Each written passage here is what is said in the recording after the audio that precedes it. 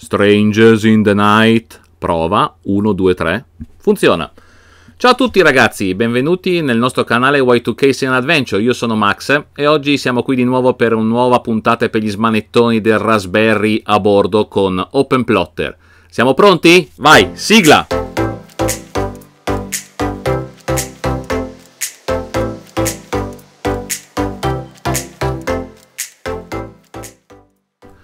Come avete visto, grande novità, abbiamo questo fantastico microfono, mi sembra di essere un pochino la radio, quindi però sono contento perché dovrebbe avere un ottimo audio e ce lo direte poi voi nei commenti se l'audio è migliorato, perché alcuni di voi sono lamentati giustamente ed è giusto migliorare il tutto.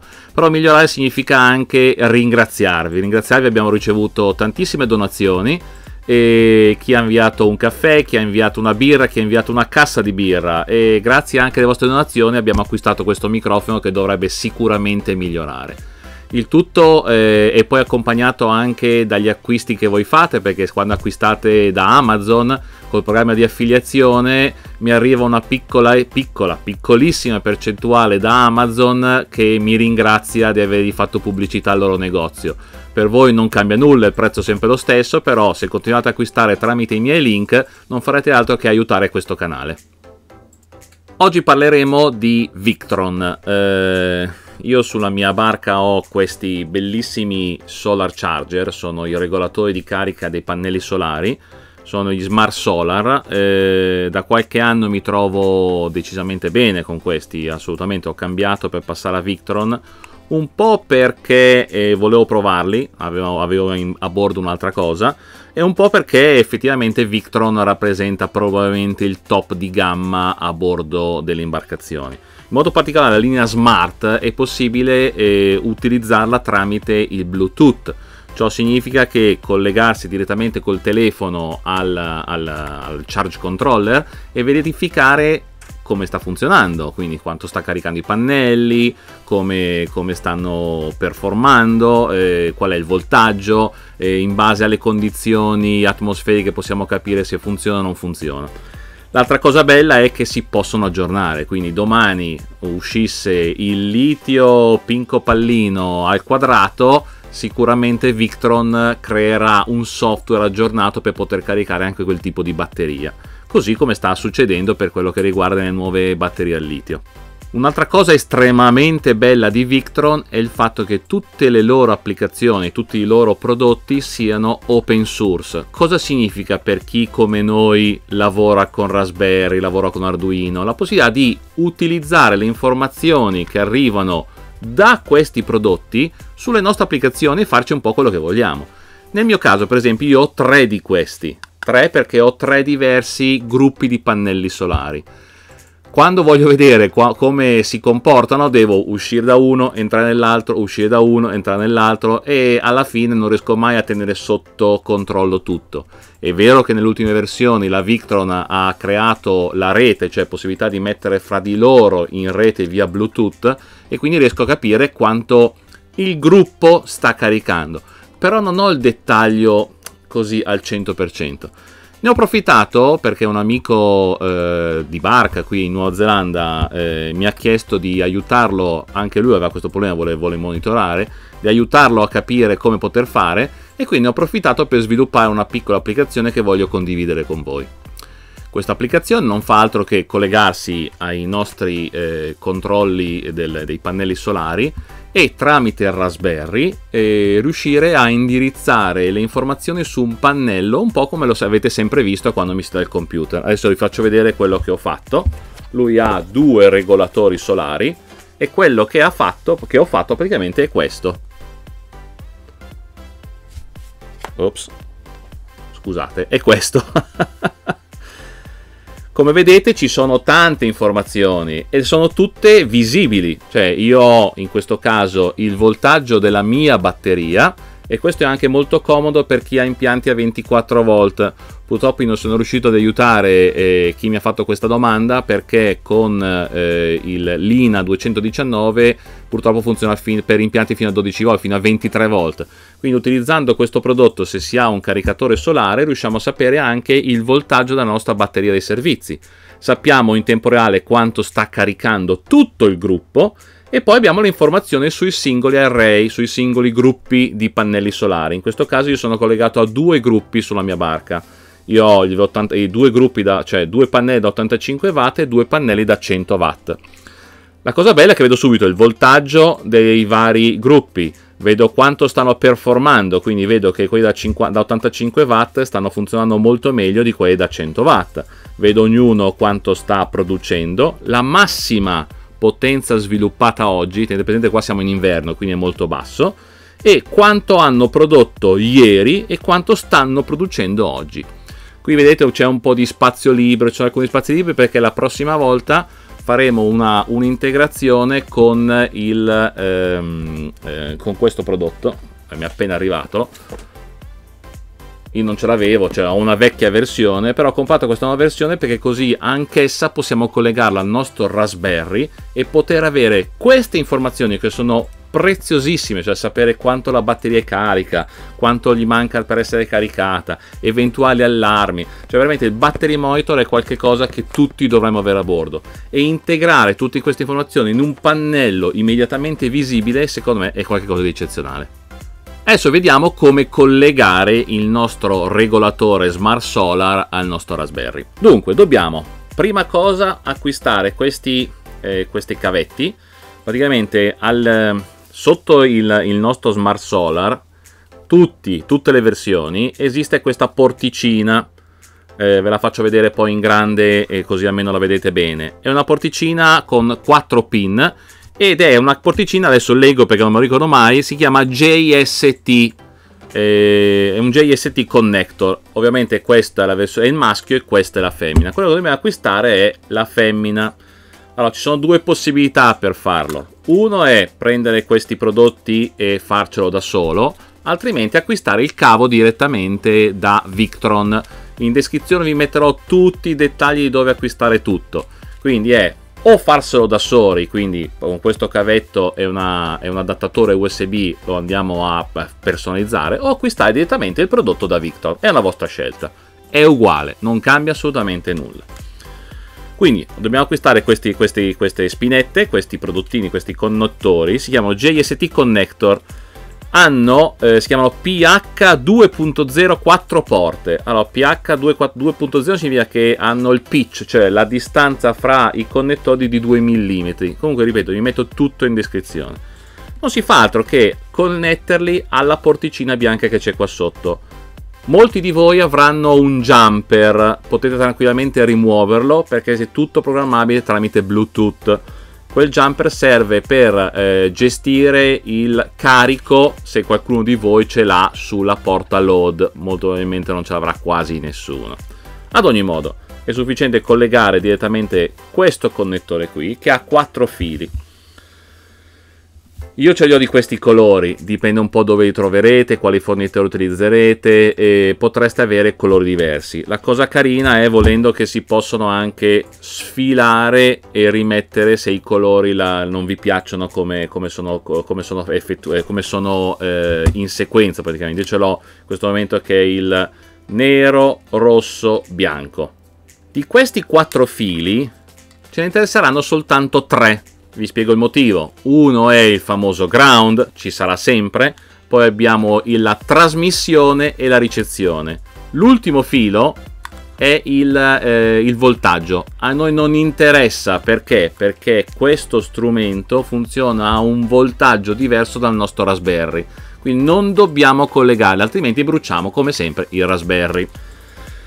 Quindi come funziona? Il, il nostro connettore ha, è fatto apposta perché eh, lo si possa inserire in un modo ben preciso. Ha una sorta di scanalatura qui sotto, qui in questo caso è un gradino e nella, nella femmina abbiamo la scanalatura. Dobbiamo sempre guardarlo con la scanalatura di fronte.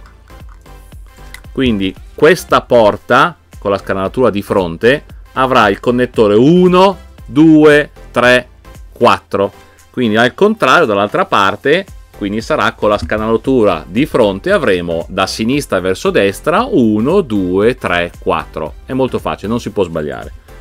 Quindi una volta collegato, il nostro numero 1 è quello dove, guardando con la scanalatura in basso, è sulla destra. Attenzione che alcuni regolatori hanno la porta al contrario, quindi mi raccomando, la controllare sempre la scanalatura.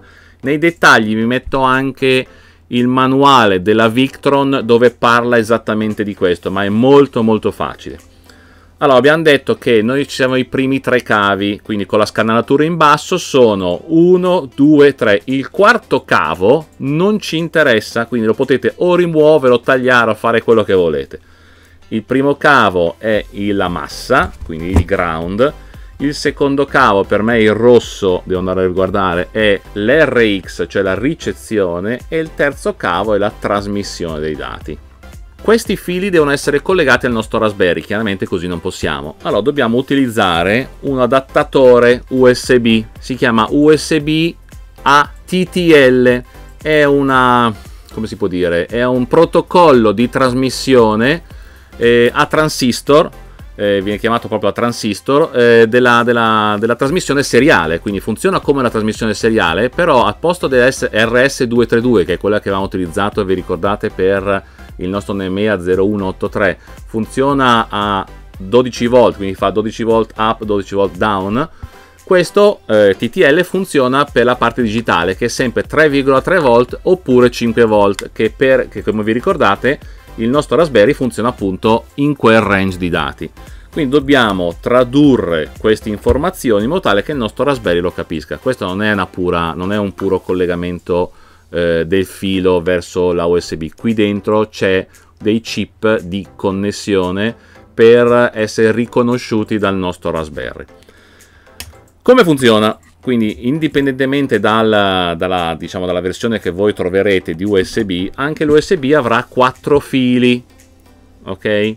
No, nella versione che io ho comprato, e comunque ogni produttore vi darà il suo schema, i miei quattro fili saranno il eh, dunque il rosso è quello che io non collegherò perché è il 5 volt che andrebbe a collegarsi con il 12 volt e non voglio bruciare tutto quindi il rosso io non lo utilizzerò mai useremo il rosso il bianco e il verde. Nella mia usb il nero andrà con il nero. Leggo perché ovviamente non me lo ricordo. Il eh, eh, dunque il rosso che arriva dalla, dal, dal mio regolatore Solbian andrà con il green, quindi l'RX va con il TX del mio Raspberry. E poi abbiamo il bianco che è il TX del, esatto, del regolatore andrà con il bianco casualmente che è l'RX del mio Raspberry. Queste connessioni potete farle un po' come volete, potete saldarle, potete mettere dei wago, potete mettere un po' quello che volete, un po' fate, fate veramente, perché sono connessioni a bassissima eh, potenza, quindi non, non, serve chissà che cosa, l'importante è che siano isolate fra di loro. Allora, attenzione che l'USB eh, potreste avere, non so, faccio un esempio, il Raspberry potrebbe essere nel vostro, eh, vicino ai vostri strumenti, vicino al vostro tavolo da carteggio, potrebbe essere un po' ovunque, devo dire la verità effettivamente, però di solito sarà vicino al tavolo da carteggio. I vostri regolatori potrebbero essere a poppa, quindi non so, 10 metri lontani se avete una barca grande. Quindi questa connessione non potete prolungare la USB, ma potete tranquillamente, visto che è un collegamento seriale, prolungare questi fili quanto volete. Quindi utilizzate un, uh, un, un filo, un, cioè un cavo guainato magari a tre poli e potete prolungarlo tranquillamente e fate questa connessione con l'USB vicino al vostro Raspberry. Non è un grande problema di dimensione dei fili. Quando prendete uno 0,25, quando prendete veramente una, una, cosa di solito sono i, i, cavi quelli per i citofoni, i cavi per gli impianti dell'armi, vanno benissimo. Anticipo la domanda perché sicuramente qualcuno di voi avrà il Raspberry già occupato, chi avrà la, la, la rete wifi USB, chi avrà l'RS232 connessa al Nemea, poi magari avrete qualche altra cosa, l'antenna esterna, quindi di porte già ce ne saranno poche. Potete tranquillamente moltiplicare le porte con un hub USB prendetelo da quattro porte non alimentato e quindi potete moltiplicare una porta in quattro porte se volete mettere un hub USB più grande quindi 12 porte magari 15 porte perché li vendono prendete un hub USB alimentato esternamente a 12 volt che collegherete alla vostra batteria.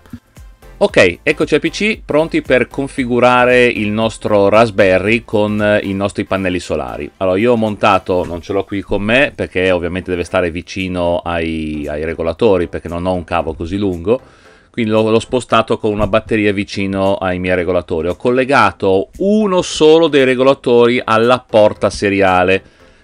Vi spiego perché uno solo, nonostante io ne abbia due perché così almeno riesco a identificare quale sto collegando e a potergli dare un nome. Vediamo come e vediamo sul PC.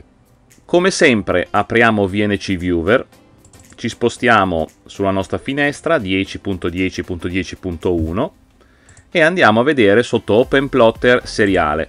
Andrò un po' più veloce del solito, eh, per chi è la prima volta che vede il video lo consiglio di vedere i nostri video precedenti. Come vedete, sotto la porta seriale, lui ha collegato l'USB che ho appena collegato. Io non ho altre seriali in questo momento. Se per chi di voi avesse altre seriali, ovviamente non si chiamerà TTY USB 0, ma si chiamerà la 1, la 2, la 3, la 4, la 5, quello che sia. Prendete eh, nota di questo nome TTY USB 0 perché ci serve per eh, dare il nome a questo eh, array di pannelli solari. Per me sono, ho collegato i due pannelli da 85 watt che ho. Ok, ci spostiamo a questo punto sul browser. Andiamo sul nostro bel Signal Key 10.10.1.2.3000. Facciamo il solito login. PI open plotter remember me. E vediamo che ci sono le solite nostre attività. Io sono collegato via eh, TCP alla, alla, barca quindi sotto data browser avvio i miei dati di navigazione. Ok dobbiamo andare a questo punto in app store sotto eh, available. Selezioniamo all e cerchiamo VE direct no, solo VE, vediamo, VE.direct, eccolo qua, VE.d per esempio, e compare questo plugin. Installiamo il plugin. Non so quanto tempo ci mette, adesso velocizziamo il video. E ci ha impiegato più di qualche minuto. Siamo arrivati a questo punto, lo status è installed, come vedete, e come sempre quando installiamo un nuovo plugin, resettiamo. Nel frattempo che si reset ci impiegherà qualche secondo, eh, voglio ricordarvi che ovviamente dobbiamo essere collegati a internet con il nostro Raspberry. Quindi per chi non è collegato a internet, ricordo anche qui di vedere gli episodi precedenti. Perfetto, a questo punto siamo di nuovo collegati, vediamo che il VE Direct è collegato. A questo punto andiamo sotto server Ah, c'è, nuova, c'è, un nuovo aggiornamento Signal Key, poi più tardi lo facciamo. In fondo al video poi vi racconto come aggiornare anche il vostro Raspberry, perché di tanto in tanto è corretto, come si fa con Windows, come si fa con gli Apple, aggiornare il sistema operativo. In fondo al video lo facciamo. Andiamo quindi su Plugin Config e vediamo tutta la nostra configurazione. VA Direct Signal, eccolo qua, abilitatelo se non è abilitato, io ho fatto delle prove prima, quindi molto probabilmente si è abilitato già da solo.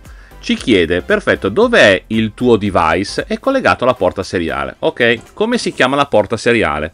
Ricordate, vi ho detto di prendere buona nota? È dev tty usb 0. Se non vi ricordate, ritorniamo direttamente sotto... Eh, eh, come si chiama? Eh, il, il, nostro... Eh, qui adesso ho lanciato un'altra applicazione nel frattempo, la chiudiamo.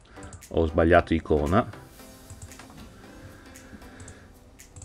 ritornate sotto il VNC Viewer e andate a vedere come si chiama la, la, la porta che è TTY USB 0 sotto dev. A questo punto, sì dai, chiuditi.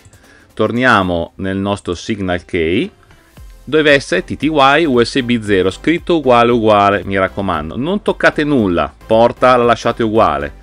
Lasciate ignore exam, andate soltanto a mettere quello che vi interessa qui eh, io vi consiglio di lasciare un po' tutto uguale, perché qua vi chiede come si chiama la batteria principale, come si chiama la batteria ausiliaria, come si chiama il primo pannello solare. Quello che potete cambiare è eventualmente questo, eh, pannello 1, pannello 2, potete chiamarlo un po' come volete. In realtà qui non va a incidere, eh, perché poi daremo il nome da un'altra parte. Ok, ci siamo? A questo punto facciamo submit, restart, ok.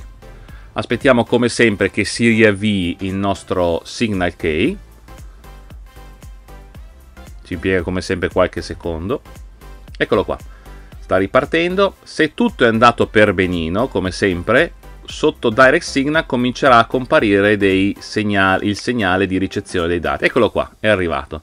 Quindi se andiamo sotto data browser vedremo che sotto electric, electrical battery house current cominciano ad arrivare i dati.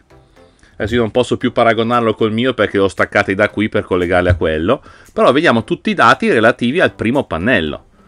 Eh, quindi abbiamo la corrente che sta caricando quanto è il voltaggio della batteria vediamo che è in charging mode e in bulk eccetera quindi vediamo un po' di poi vediamo tutti i dati del pannello 1 ok perfetto adesso mi alzo vado a collegare il secondo pannello ok ho inserito l'OSB in un'altra porta del Raspberry ritorniamo sotto VNC facciamo il refresh sotto serial ed è comparsa la seconda porta USB che ho collegato, quindi si chiama TTY USB 1. Per voi sarà la 3, la 5, la 6, quello che sia, ricordatevi però di verificarla. Quindi ritorniamo ancora sotto il, il nostro Signal Key, server, plugin config, andiamo ad aggiungere un'altra istanza. Quindi collegato via seriale, la USB questa volta è la numero 1 lasciamo tutto il resto uguale a parte il nome che vogliamo dare al secondo pannello. Io lo chiamerò panel 2 facciamo submit e come sempre controlliamo facciamo il restart. Ok. Aspettiamo qualche secondo.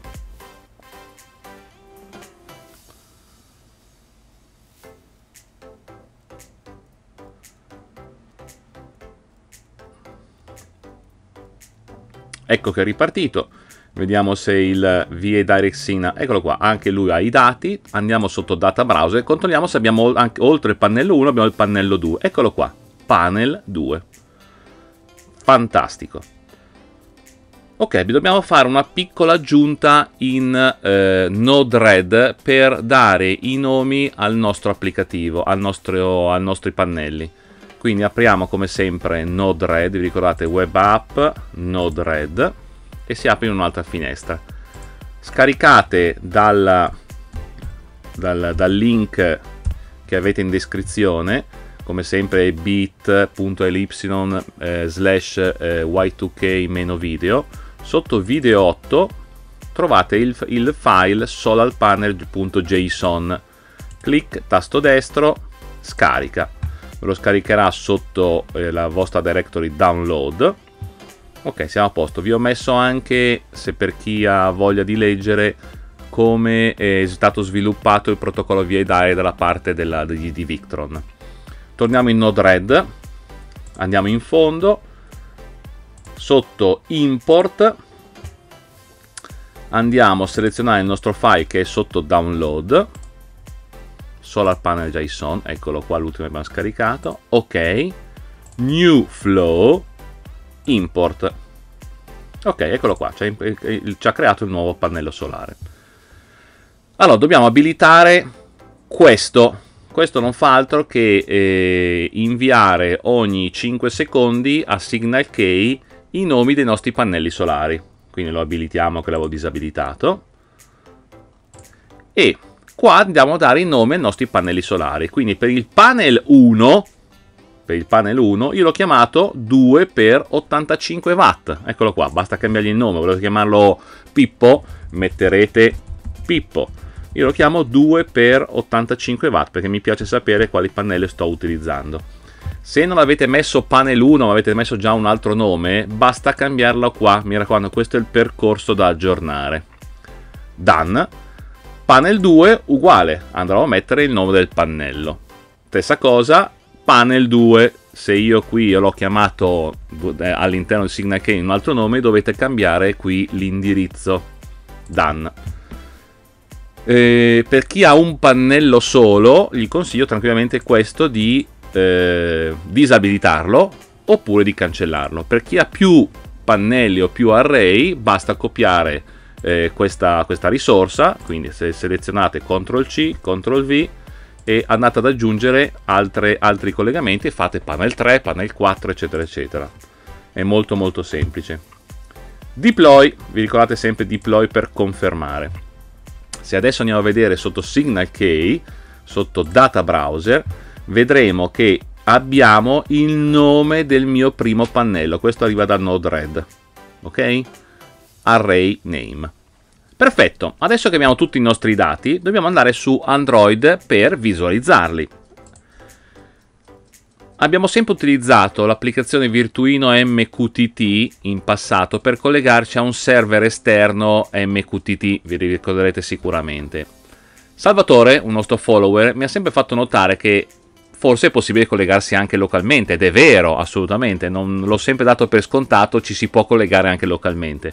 Quindi questa volta in questa applicazione utilizzeremo Virtuino MQTT per collegarci al server che è sempre stato e sempre esistito, creato da Signal su, sul, sul nostro Raspberry. L'indirizzo del server quale sarà? 10.10.10.1 sempre sulla porta 1883. Questa volta però al posto di utilizzare Virtuino MQTT che è una piattaforma di sviluppo, il software ve l'ho già preparato io, quindi utilizzeremo Virtuino SE Viewer, serve solo per visualizzare senza dover fare modifiche. Quindi una volta che vi installate questa app, sempre dal eh, Play Store di Google, quindi clicchiamo sull'app, dobbiamo prima scaricarci eh, l'applicazione che vi fornisco io, quindi apriamo il browser, quindi sempre dall'indirizzo bit.ly barra y2k-video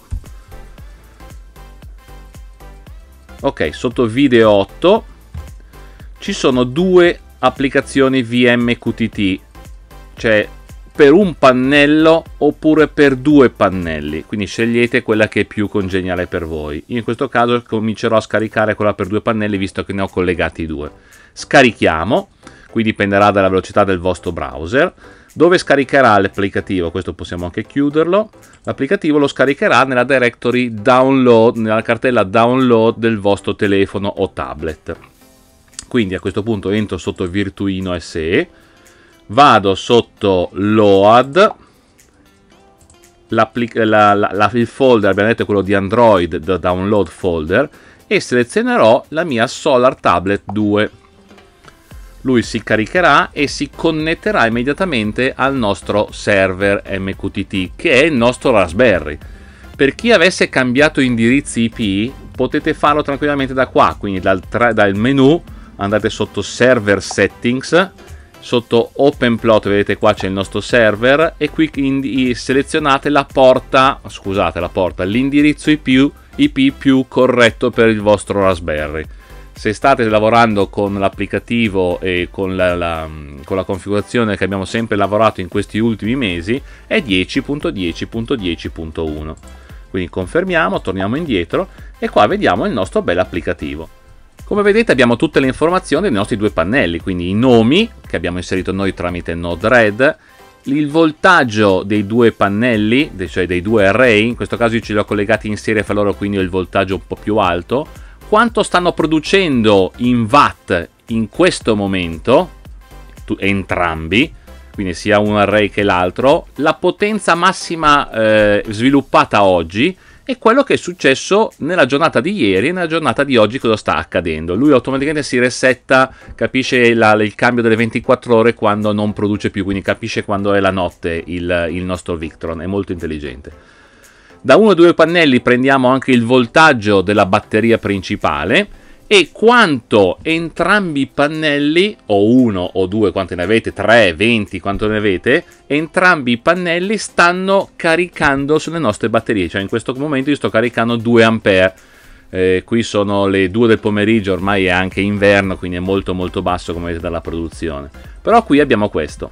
Abbiamo un po' di spazi vuoti come vedete perché prossimamente andremo a sviluppare eh, dei, dei, delle nuove... Dei, sviluppare, introdurremo dei nuovi dati su questa piattaforma. E qui in basso abbiamo la versione 1.0, io eh, normalmente andrò ad aggiornare questa versione con, nuovi, eh, con delle nuove informazioni, quindi sempre sotto la mia directory troverete l'ultima versione disponibile. Solo un piccolissimo aggiornamento su Virtuino e Save Viewer. Eh, il software è gratuito, eh, lo, lo, confermo, ha soltanto un piccolo trick fatto dal, dallo sviluppatore che dopo un tot di minuti si disconnette. Quindi se volete lasciarlo sempre attivo come ce l'ho io su un tablet, dovete comprarlo. Costa, se non ricordo male, 2 euro e mezzo, 3 al massimo nel caso in cui eh, quel prodotto che ho sviluppato risulti troppo grosso perché l'ho sviluppato per un tablet con una risoluzione 1920x1080, dal menu c'è il resize, quindi potete tranquillamente selezionare più in alto o più in basso fino a quando non trovate la vostra dimensione corretta. È stato sviluppato per essere orizzontale su un tablet.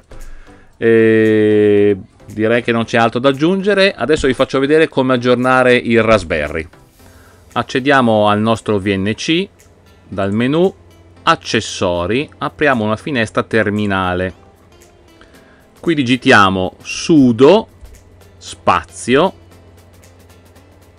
apt update. Scriviamolo magari corretto.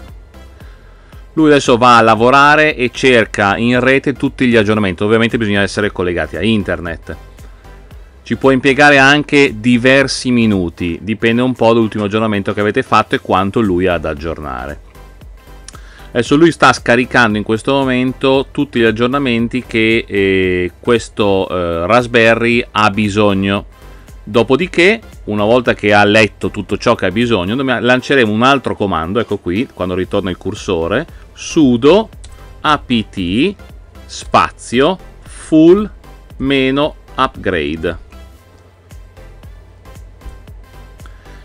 Lui dall'elenco che si è fatto comincia a scaricare tutto, eh, ci chiede di continuare, sì. Comincia a scaricare tutto e ad aggiornare il sistema. Ecco, qui veramente può impiegarci un bel po' di tempo. Eh, dipende, ripeto, dall'ultima volta che avete fatto l'aggiornamento. Adesso andremo avanti ancora un pochino, non vorrei andare avanti molto. Ecco, questa cosa volevo farvi vedere, l'avanzamento.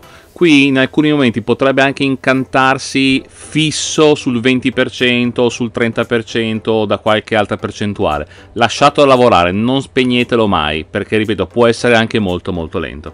Ok, una volta che ha finito facciamo un riavvio, quindi sudo spazio reboot. Lui automaticamente si riavvia, è un po' come fare il control canc e riavvio su Windows.